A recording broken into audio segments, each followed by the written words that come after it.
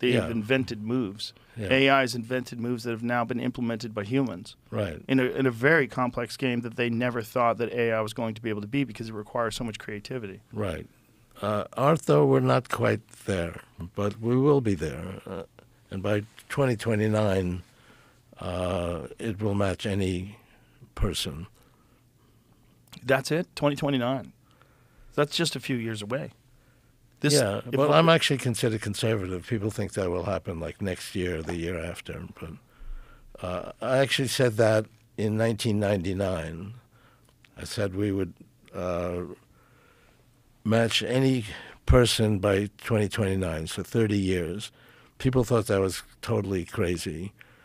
Uh, and in fact, Stanford had a, uh, a, a conference. They invited several hundred people from around the world to talk about my prediction.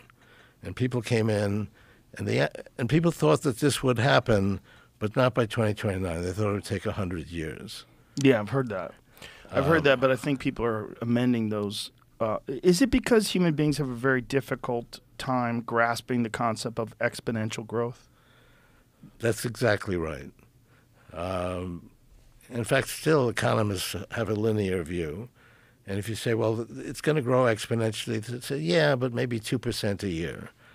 Um, it, it actually doubles in 14 years.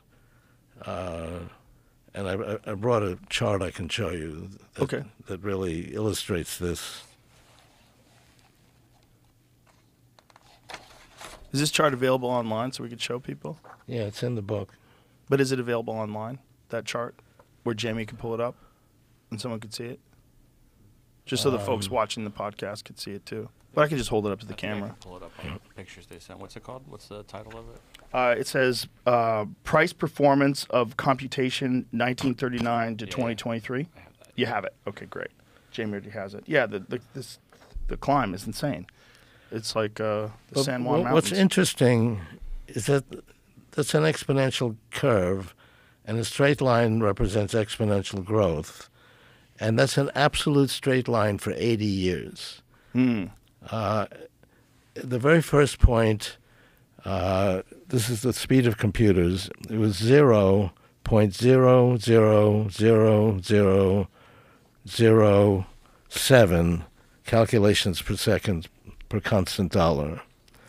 The last point is 35 billion calculations per second. So there's a 20 quadrillion fold increase in those 80 years.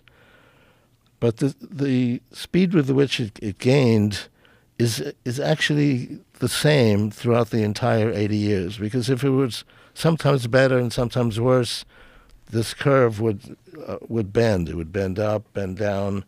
It's really very much a straight line.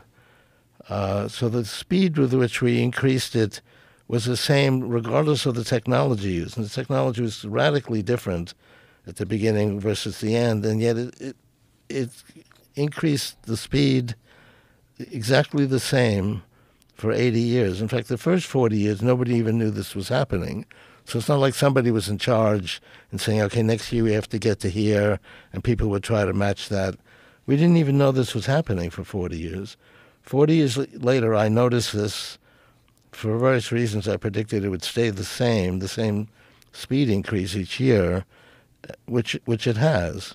In fact, we just put the last dot like two weeks ago, and it's exactly where it should be. So, te- technology and computation is certainly f- prime form of technology. Uh, increases at the same speed. And this goes through war and peace. You might say, well, maybe it's greater during war. No, it's exactly the same. You can't tell when there's war or peace or, or anything else on here. It just matches uh, from one type of technology to the next.